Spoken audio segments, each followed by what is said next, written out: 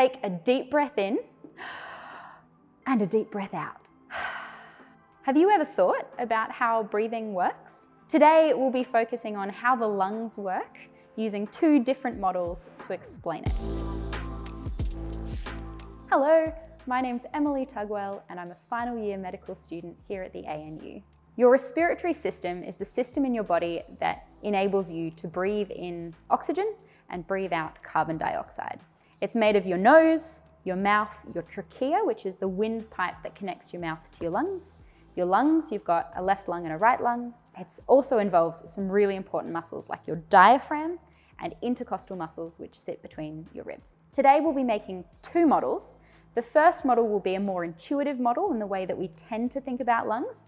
And the second model will show how your diaphragm has a really important role in the way that you breathe. So to make our first model, we've got a box, picture of the lungs, two balloons, some tubing, some tape, some scissors, some glue, some Blu Tack, a Y-Connect, and a syringe. To get started, we're just going to first glue the lung picture onto the box. And we're also going to glue the box lid onto the box here as well. We'll leave that there for a second to dry and we'll get everything set up. So taking your Y-Connect, you're going to want to attach a balloon to each side. Now the tricky part with this is you need it to be very well sealed. So I'm going to take some tape and cut off sections of tape that I'll use to wrap around. So I found that it works best if you pinch the balloon a little and tuck it over itself so you're making a really good seal. Then, using the tape, I'm going to go around and make sure that there's no air getting through. The balloon is really well attached. We're now going to do that with the other side as well. So putting the balloon on, give it a little pinch and pull it over. At this bit, you can always test it and make sure that the balloons are filling up nicely.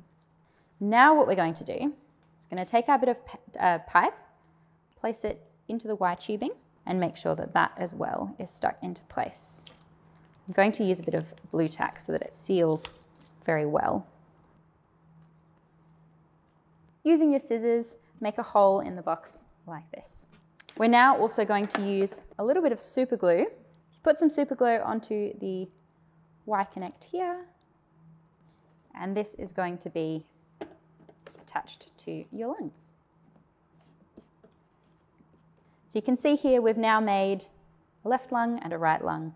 If you take your Y pipe, thread it over the back, underneath the box, and then through the hole that you've made,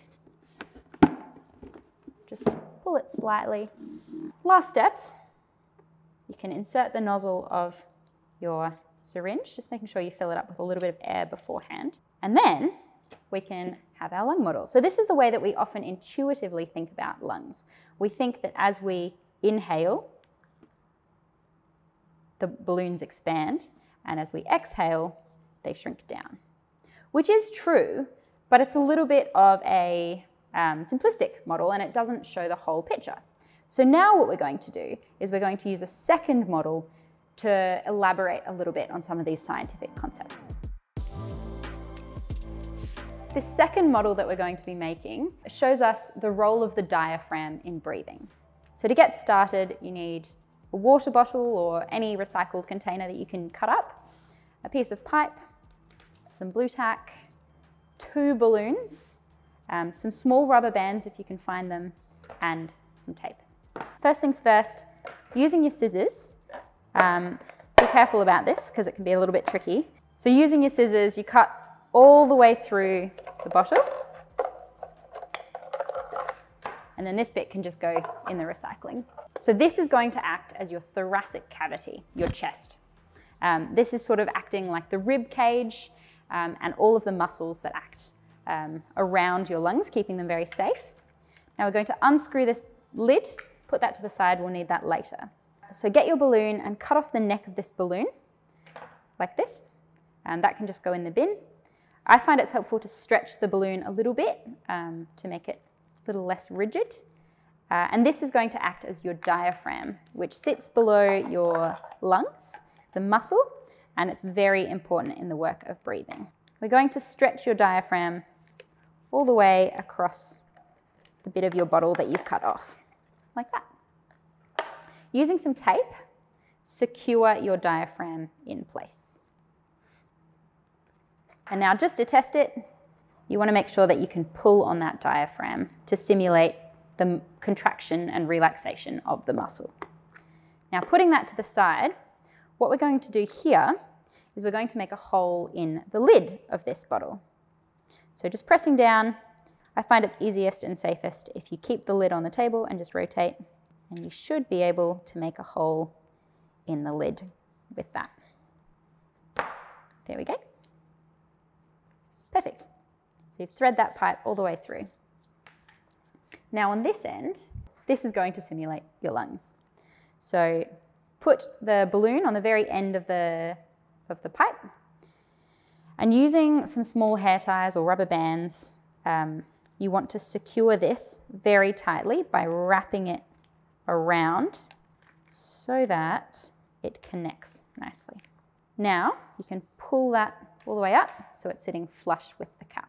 What we're going to do, we're nearly there, thread this balloon inside your rib cage, which is this bottle that we've made, and we're going to be able to pull on this diaphragm to simulate the air movement. So, when you breathe in, your brain sends a signal to your diaphragm, this muscle at the very bottom, to tell it to contract, which moves everything down. As it does that, there is a greater space left. As it's moved down, there's more space left. There's something called Boyle's law, which is that when there is an increased volume, there's a decreased pressure, or if there's a decreased volume, there's an increased pressure. So in this case, as we pull the diaphragm down, there'll be more volume, which means there's less pressure. Now, air is like most humans I know, and it likes to go to somewhere where there's less pressure. I don't like being under pressure, and I'll try and avoid it if I can. Air does the same thing. So air goes from a place where there's relatively more pressure, just this outside environment, into somewhere where there's less pressure if it can. In this case, I'm going to pull down on the diaphragm, and as I do, the balloon is going to inflate, which simulates breathing in. As I relax it, the balloon will deflate. So inflate, deflate, inflate, deflate. As the diaphragm is working, it's changing the pressure of the intrathoracic cavity, the space caused by your rib cage and your lungs. It's changing the pressure in that space, meaning that the lungs inflate because of that pressure and you breathe in and then the lungs deflate as the diaphragm relaxes.